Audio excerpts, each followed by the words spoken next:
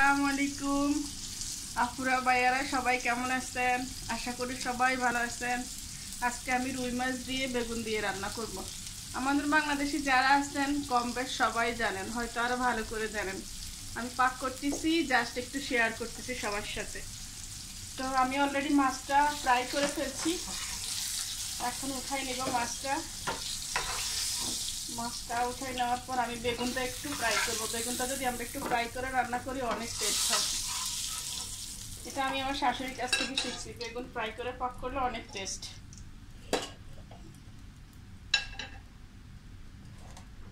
আমি বেগুনটা, আলুটা দিয়ে দিচ্ছি, সাথে একটা আলু দিলাম। আলু না দিলে তরকারি টেস্ট হয় না। তো বেগুনটা ফ্রাই করে উঠাই নেওয়ার পরে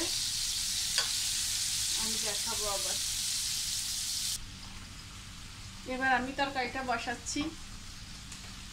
এখানে আমি সব কিছু কেটে নিয়েছি।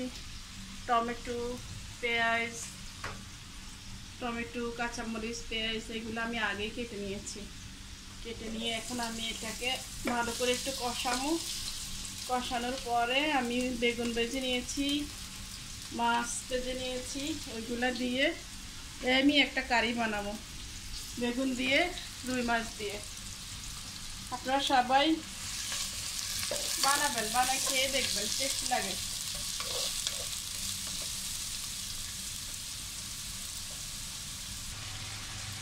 আমি মাছটা বেজে নিচ্ছি, বেগুনটাও বেজে নিচ্ছি। এখন আমি মশলাটা অলরেডি হয়ে গেছে আমার, কষানো হয়ে গেছে। এখন আমি যদি বেগুনটা ভাজি করছি, সেটা আমি এখন দিয়ে দেব। দিয়ে আমি তিন চার মিনিট আবার একটু ভালো করে কষাবো। কষানোর পর আমি গরম পানি দিয়ে দেব।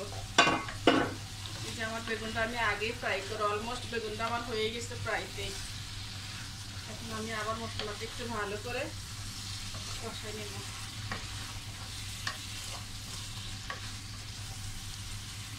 আমি আবার ফিরে আসছি, পাঁচ মিনিট পরে ফিরে আসছি। আমার বেগুন কষা হয়ে গেছে অলরেডি এখন আমি একটু গরম পানি দিব। অ্যাকচুয়ালি আমি ভিডিওটা ছোট করার জন্য সব কিছু আগে অ্যাডভান্স করে নিয়েছি। পরে জাস্ট একটু দেখিয়েছি। কমপ্লিটলি যদি সবগুলো একটু একটু করে দেখায় অনেক বড় হয়ে যায় ভিডিও সেই জন্য আমি অল্প অল্প করে দেখাচ্ছি। এখন আমার তরকারিটা কষা হয়ে গেছে, আমি এখন গরম পানি দিয়ে দিব। গরম পানি দিয়ে দিচ্ছি।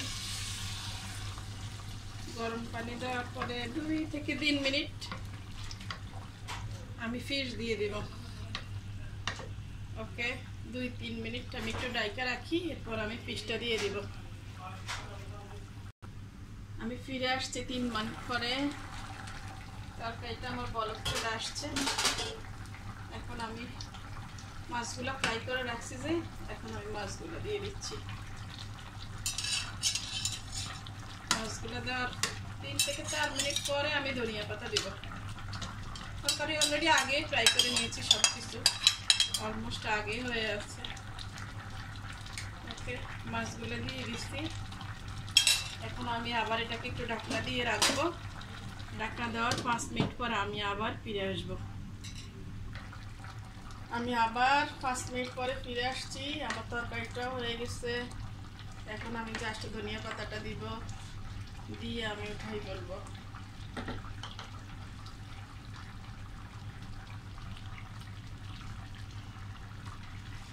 ধনিয়া পাতা দেওয়া শেষ, তরকারি রান্না শেষ।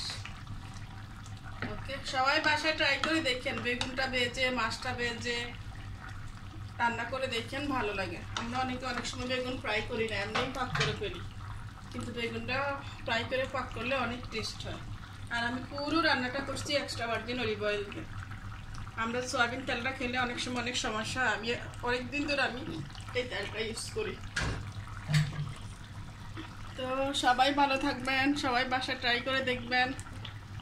একবার ট্রাই করে কেমন হয় জানাবেন। ওকে আল্লাহ হাফেজ বাই